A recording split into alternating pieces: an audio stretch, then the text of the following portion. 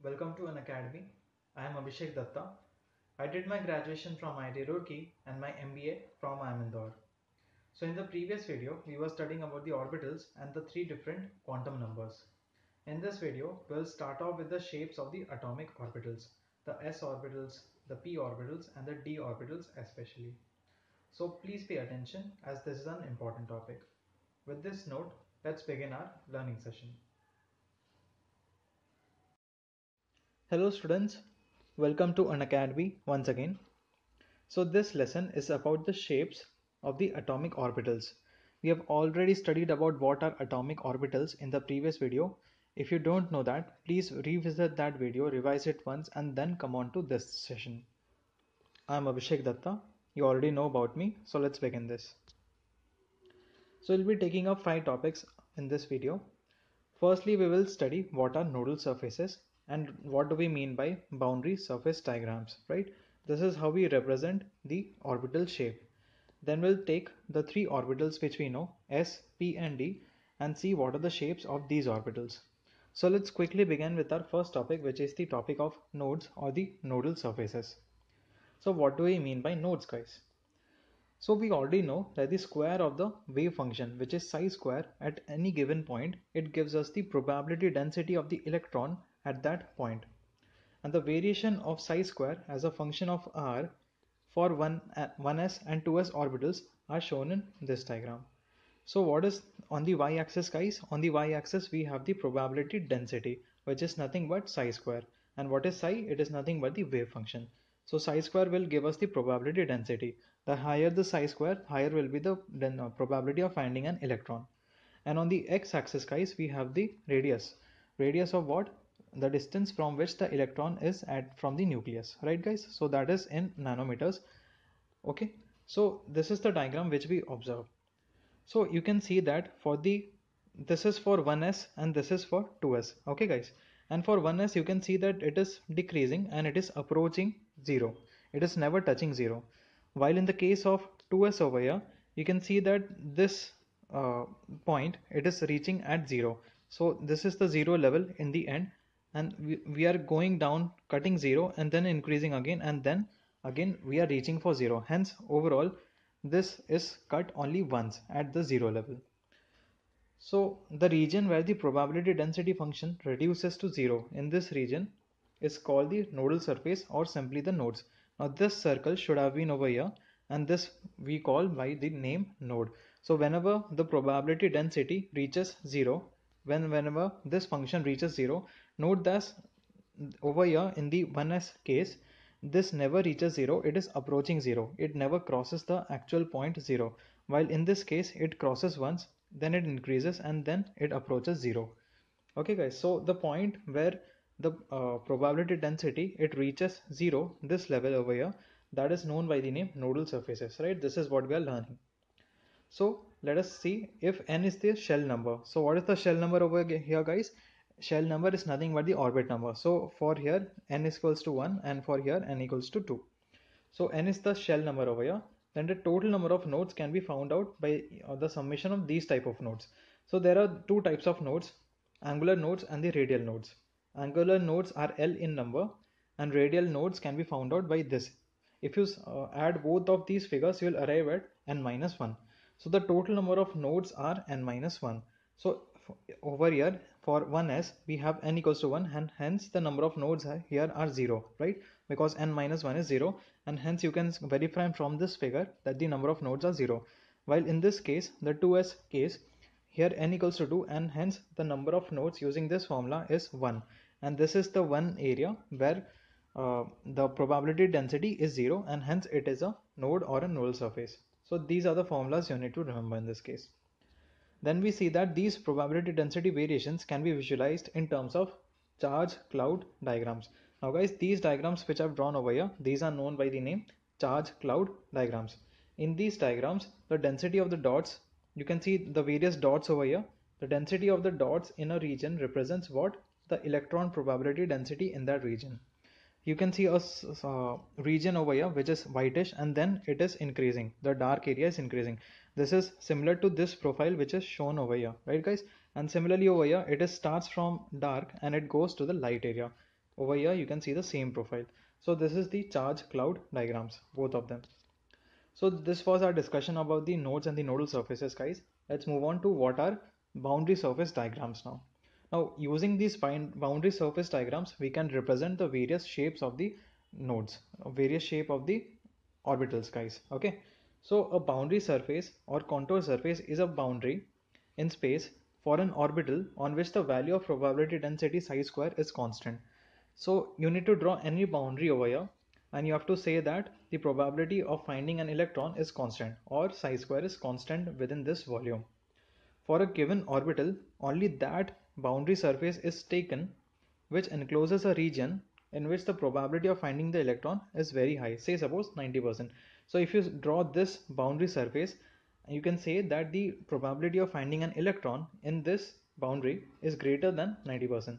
Okay, it should be minimum 90%, say for example. So what is boundary surface diagrams guys?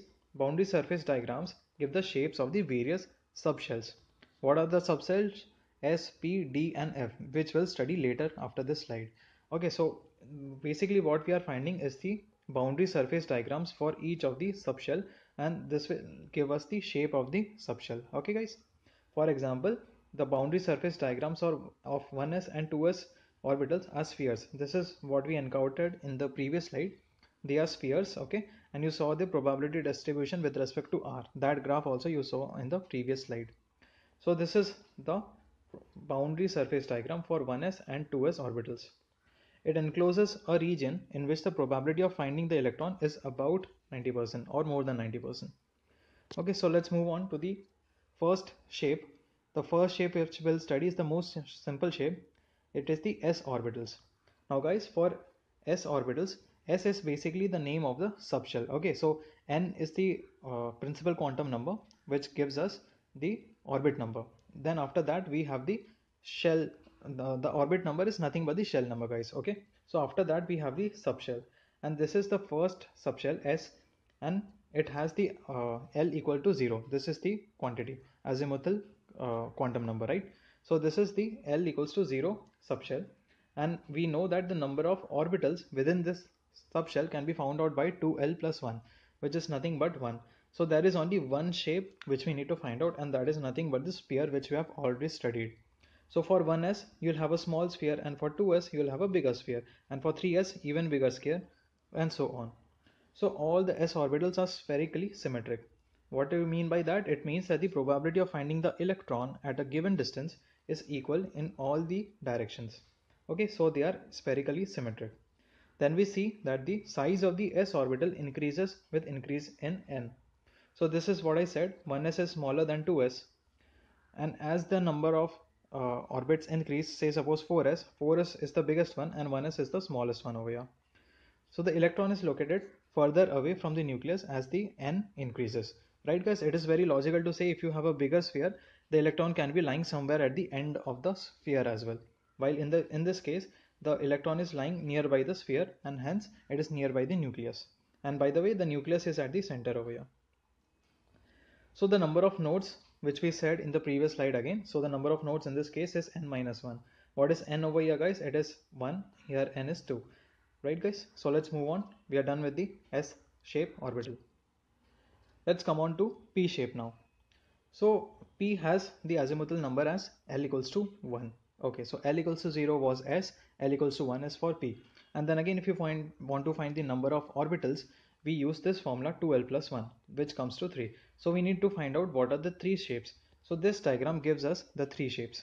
Now note that it is a dumbbell shaped uh, object. So these orbitals are dumbbell shaped. You can see this is the shape dumbbell shape.